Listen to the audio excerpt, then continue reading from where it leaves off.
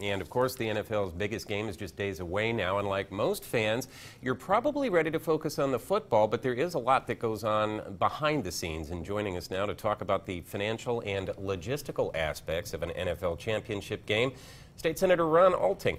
Senator Alting, thanks so much for coming in. A lot of us remember, those of us with a few gray hairs, remember Petu's Restaurant on State Road 38 right. East in Lafayette, but a lot of people may not know that you have deep connections with New Orleans. Oh, huge. My first restaurant opening was in the 80s at uh, St. Charles Avenue, the famous avenue in New Orleans. And I had a managing company, had a couple nightclubs in the French Quarter. Al Hirt played in one of them, and uh, 15 years approximately in New Orleans, and city was great to me, and experienced two Super Bowls right, while I the, was there. The Bears were in one, and what was the other game? Can't remember the other one because the Bears dominated it all. Yeah, right. That's back when the fridge was with them. Uh huh. Yeah. Uh, what was the other game? What years were those?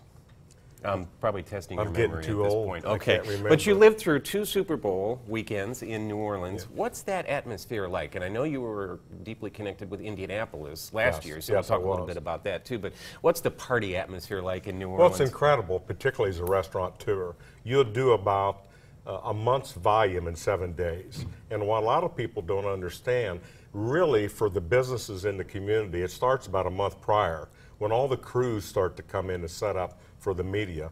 And then two weeks prior to Super Bowl to a week, then the media from all over the world comes in. Mm-hmm. So you really start filling your seats in businesses and selling your goods about 30 days prior to kickoff. Now, you were uh, in Indianapolis uh, last year yes. for that. Yes. Could you kind of compare and contrast what those two well, vibes were like? You know, we, we've been planning this. The two things that they really look at at a city to choose a Super Bowl is hotel rooms. You got to meet the hotel rooms criteria and the location. And like New Orleans now, Indianapolis has a hub of all of our hotels right down in a central business district, which is huge. And the second, of course, is the stadium you're playing in, how many seats. Mm-hmm. So with our new one, uh, we fit both criteria in Indianapolis, and the community came together, the businesses, uh, the airports, everybody, and did a fabulous job and threw, and threw a party for Super Bowl.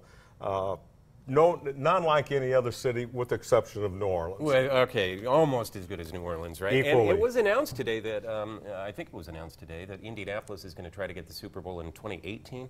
We are. What's the economic impact of that? Oh, it's enormous, and it's enormous to everybody and on the outline.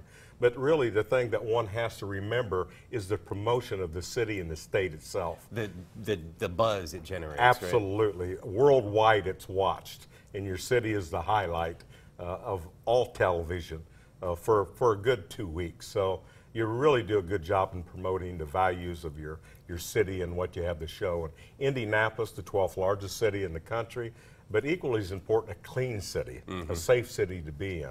Yeah. And I think we showed them Hoosier hospitality like nowhere else. All right. State Senator Ron Alting, thanks so much for coming My in and pleasure, sharing Jeff. your perspective Thank on you. Super Bowl weekend.